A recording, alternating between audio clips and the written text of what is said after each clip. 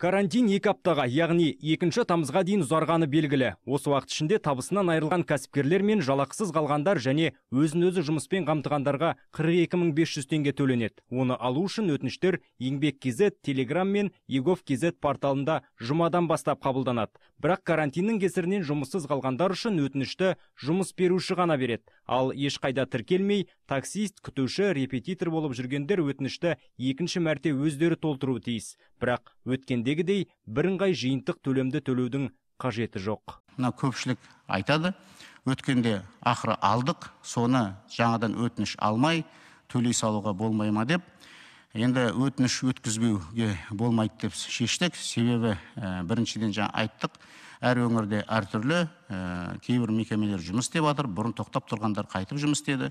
Оның үстіне мысалы кейбір азаматтар болуы мүмкін. Өткен төтенше жағдай кезінде жұмыс істеп қазір жұмыссыз қалып қалса олар әрине өтініш беріп оны ә, төлемді алуы тиіс.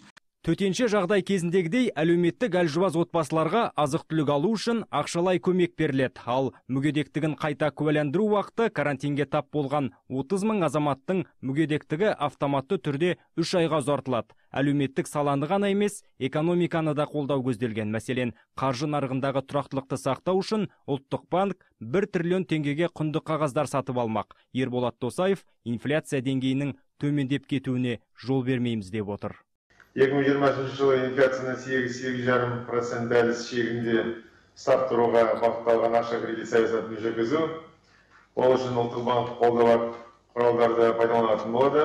Бұл ақша кредит саясатын іске асырудың тиімділігін арттыруға мүмкіндік береді. Оның үстіне бұл қымбатшылыққа жол бермей бағаны ұстап тұруға да мүмкіндік береді. Үкімет басшысы да осыны қатаң тапсырды. Өйткені карантин кезінде бағаны негізсіз өсірген саудагерлер жоқ емес. Әлеуметтік жәрдемақылардың дер кезінде төленуі де маңызды.